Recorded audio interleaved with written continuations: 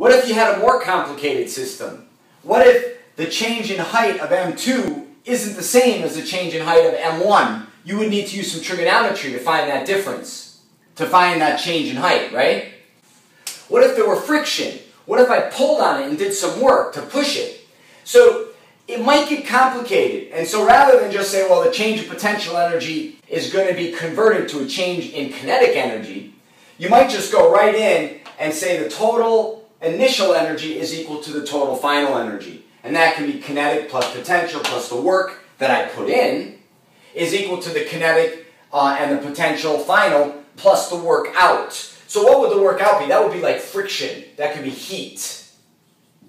Okay? And so um, where do we know where to put these?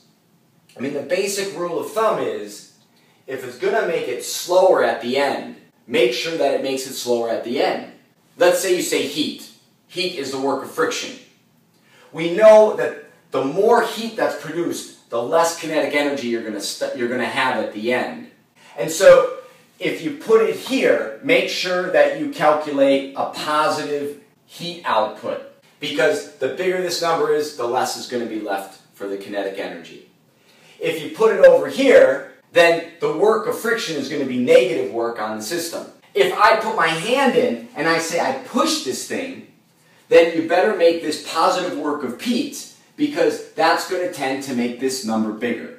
So other than that, you can use the same protocol to find the final velocity if you follow distance, the average velocity, the amount of time, the acceleration, and the forces on these bodies and the tensions, just like we did with the Atwood machine.